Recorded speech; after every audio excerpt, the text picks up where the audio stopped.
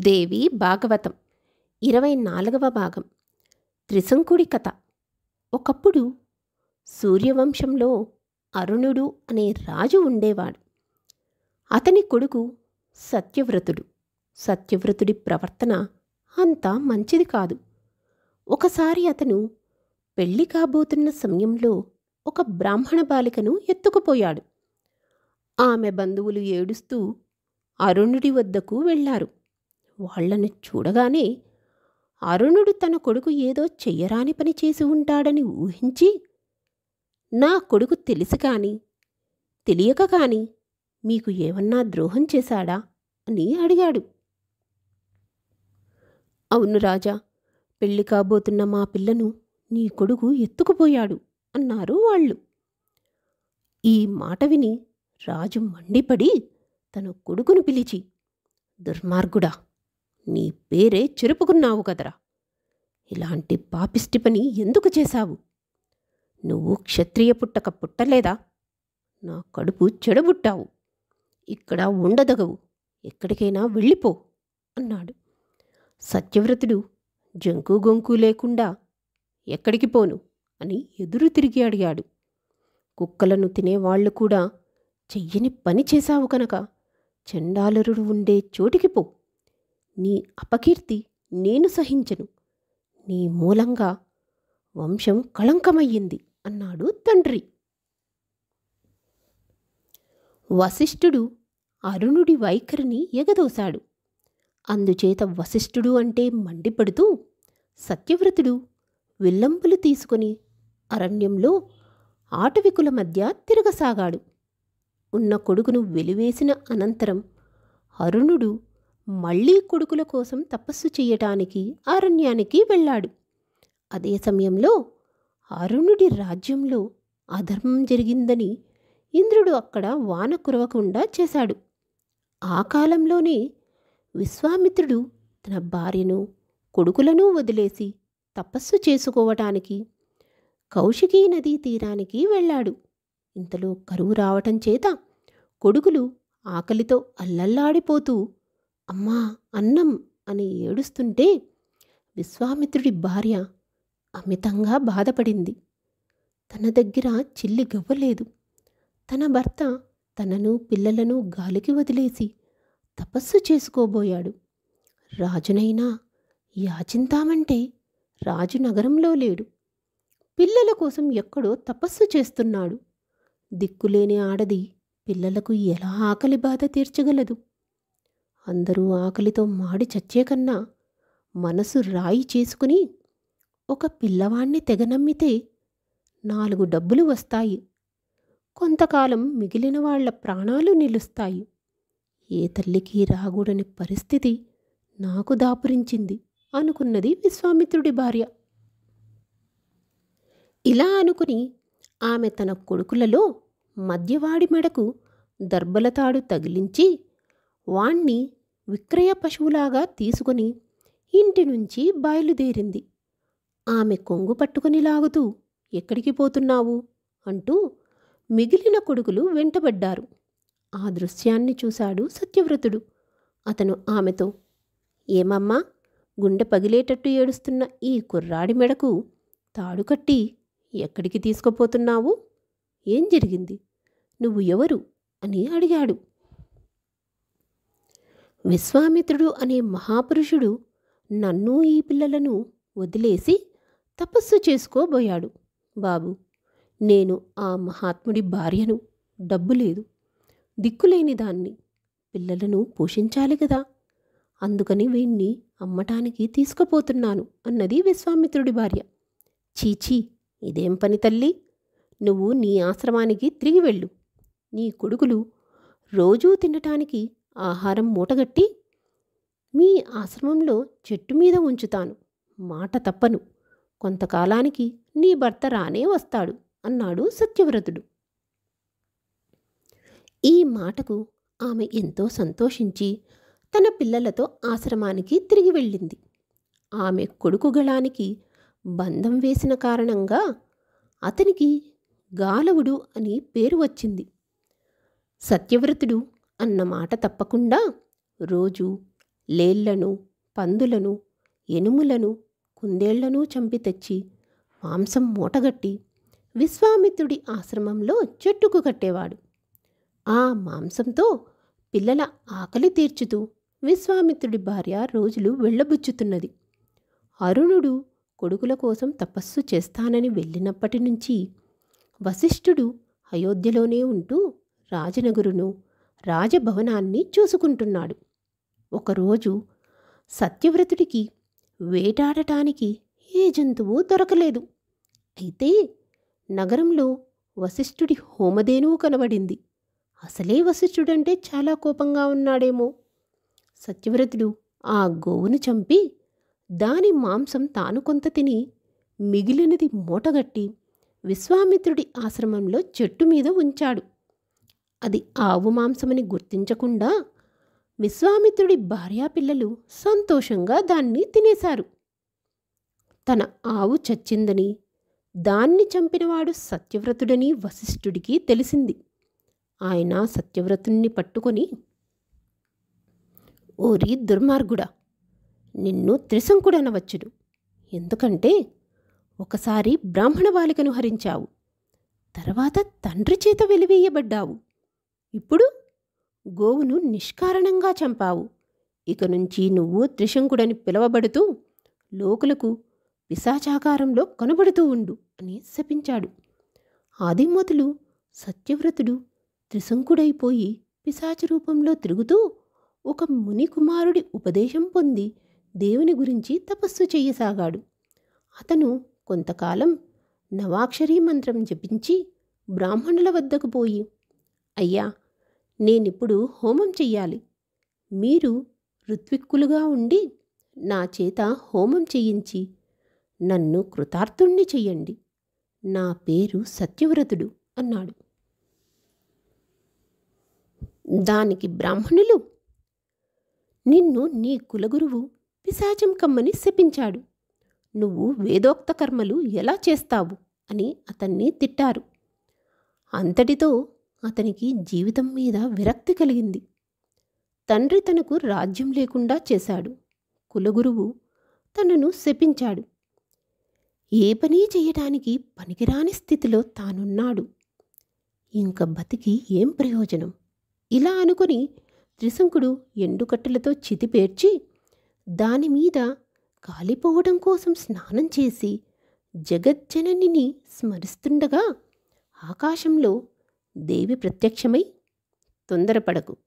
నీ తండ్రి ముసలివాడయ్యాడు. అతను నీకు రాజ్యం ఇచ్చి నిర్విచారంగా తపస్సు చేసుకోబోతున్నాడు. నా ప్రభావం వల్ల నీకు పట్టాభిషేకం చేయగలుందులకు రేపు నీ తండ్రి మంత్రులను పంపుతాడు అని చెప్పి అదృశ్యమయ్యింది. త్రిశంకుడు ఆత్మహత్యా ప్రయత్నం మానుకున్నాడు.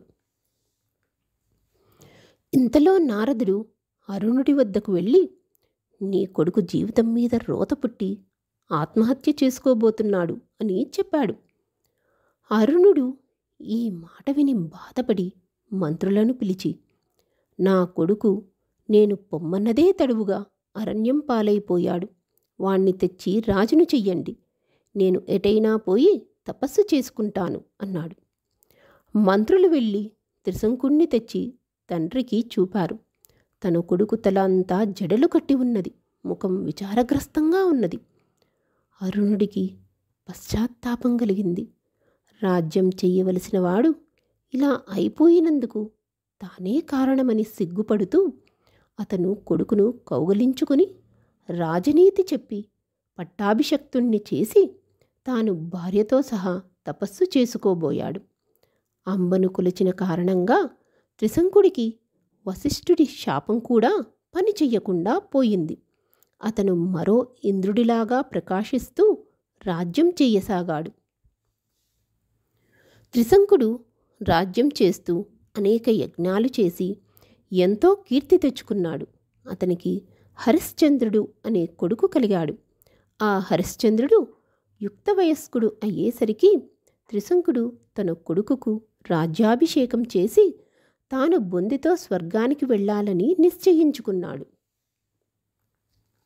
అందుకోసం అతను వశిష్ఠుడి ఆశ్రమానికి వెళ్ళి ఆ మహామునికి నమస్కారం చేసి మహాత్మా ఈ శరీరంతోనే నాకు స్వర్గ సౌఖ్యాలు అనుభవించాలనిపిస్తున్నది అప్సరలతో తిరుగుతూ నందనోద్యానంలో విహరిస్తూ గాంధర్వగానం వినాలనిపిస్తున్నది.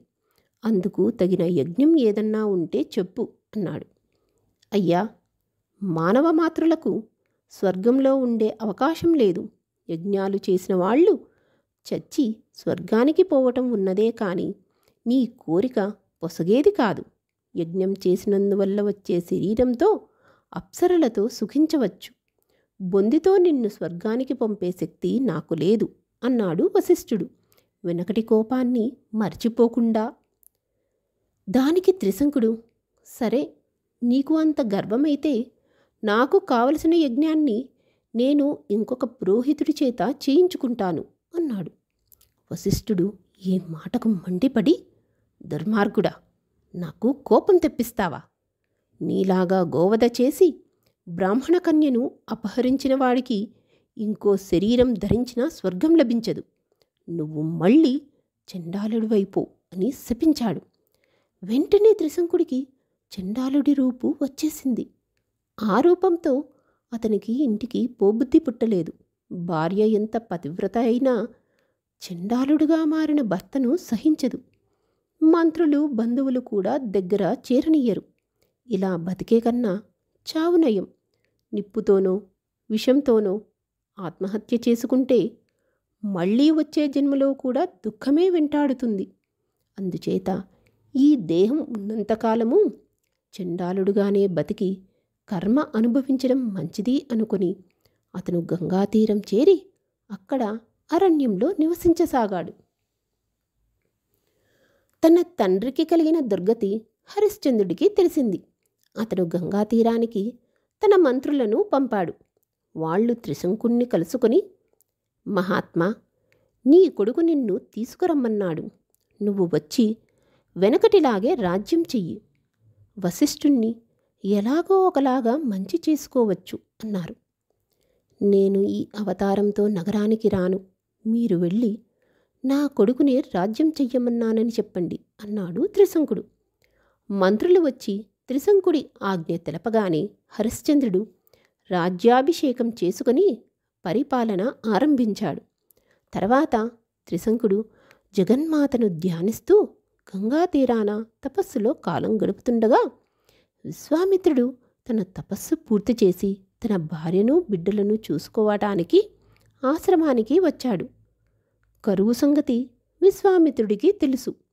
ఆ కరువుకు తన భార్యాపిల్లలు ఏమయ్యారో ఆయన ఎరగడు కాని తాను మాత్రం ఆకలికి తట్టుకోలేక ఒక చండాలుడి ఇంట ప్రవేశించి ఆహారం కోసం అతడి కుండలో చెయ్యి పెట్టి దొంగతనం చేస్తూ దొరికిపోయాడు. అప్పుడు ఆయన చండాలుడితో తాను తపస్వినని ఆకలి బాధకు తట్టుకోలేక దొంగతనానికి పాల్పడ్డానని చెప్పుకొని తన ప్రాణం నిలబెట్టుకున్నాడు. అయ్యా ఇది కుక్క మాంసం. నువ్వు ఎలా తింటావు? అని చండాలుడు విశ్వామిత్రుని అడిగాడు. ఆకలి ధర్మం ఎరగదు. కుక్క మాంసమని నాకు తెలుసు. నేను దాన్ని తినటం పాపమైతే ఆ పాపం వానదేవుడిది అన్నాడు విశ్వామిత్రుడు. విశ్వామిత్రుడు ఇలా అనగానే ఏనుగు తొండాలంత ధారలతో వాన కురిసింది. విశ్వామిత్రుడు బయలుదేరి ఇంటికి వచ్చాడు.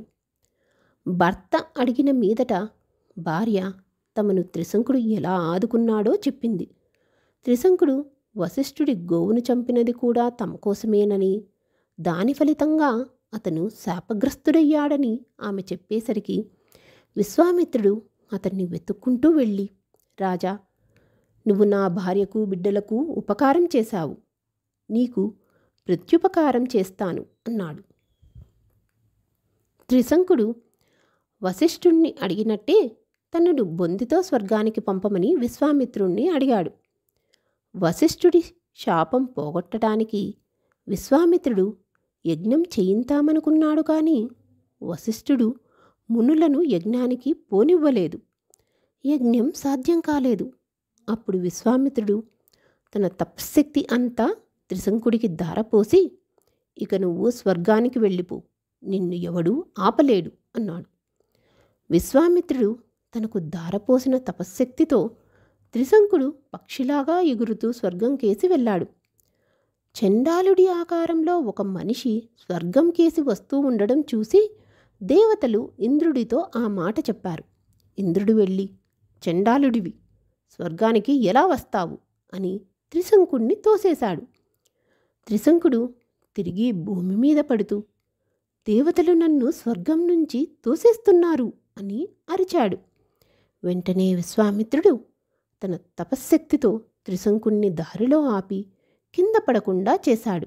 అంతేకాక ఆయన త్రిశంకుడి కోసం మరో స్వర్గాన్ని సృష్టి చేశాడు. ఈ సంగతి తెలిసి ఇంద్రుడు విశ్వామిత్రుడితో కొత్త సృష్టి చేయవద్దని చెప్పి త్రిశంకుడికి కొత్త శరీరం ఇచ్చి తన వెంట తిన్నగా స్వర్గానికే తీసుకుపోయాడు.